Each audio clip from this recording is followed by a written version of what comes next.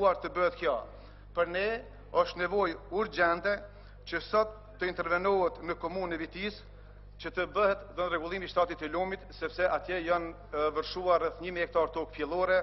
dhe gjithashtu është bërë dëm, janë bërë dëme të mëdha në ekonomitë familjare dhe në shtëpitë e tyre. Përmendet se do të bëjnë inventarizimin e stoqeve të bagëtive, vreshtave, pemishteve, serrave, pikat e grumbullimit të qumshtit, tregjeve të gjelbra, por nuk e përmendin regjistrimin bujqësor që është kryer vitin e kaluar dhe nuk tregojnë rezultatet e atij regjistrimi. Shumë pak i kushtohet rëndësi blegtorisë, perimtarisë, pemtarisë dhe vreshtarisë, fusha këto që Kosova ka një traditë të kultivimit, ndërsa më tepër në program janë fokusuar në planifikimin e prodhimeve të produkteve të reja si kivi, shpargulli, pastaj kultivimi i kërmijve, strucave dhe drerëve, për të cilat natyrisht që Kosova nuk ka ndonjë traditë. Gjithashtu është për keqardhje që me vetëm pesë rreshta përshkruhet plani i mbrojtjes së pyjeve dhe zhvillimit të tyre. Për ne resurset pyjore janë me interes nacional që kanë efekte ekonomike dhe ekologjike, prandaj konsiderojmë se në program do të duhej të saktësohet se sa hektarë në vit do të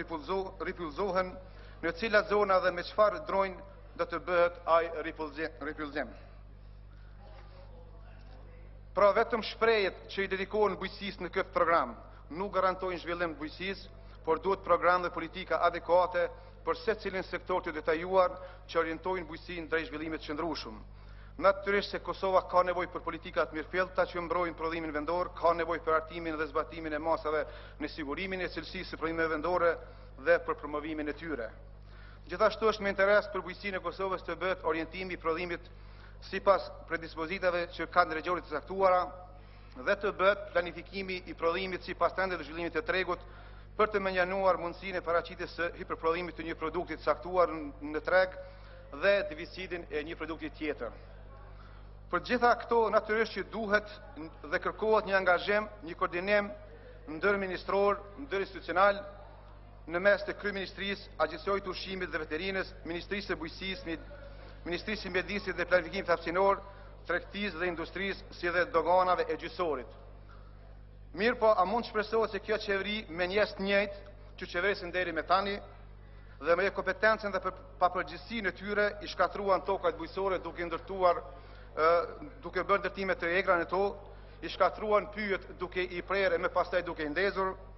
i shkatërruan lumenjtë duke shfrytëzuar zhavorin dhe rërën për ndërtim, kanë vullnet të ndryshojnë gjendjen e rëndë të bujqësisë së Kosovës. Ne mund të krijojmë ligje, mund të krijojmë memorandume bashkëpunimi,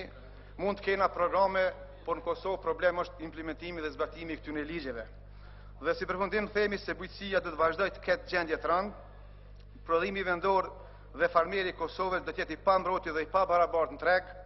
si dhe fermerëve nuk do t'u ofrohet mbështetje as në cilësi, as në sasi dhe as në kohën kur ata kanë më së shumti nevojë. Faleminderit.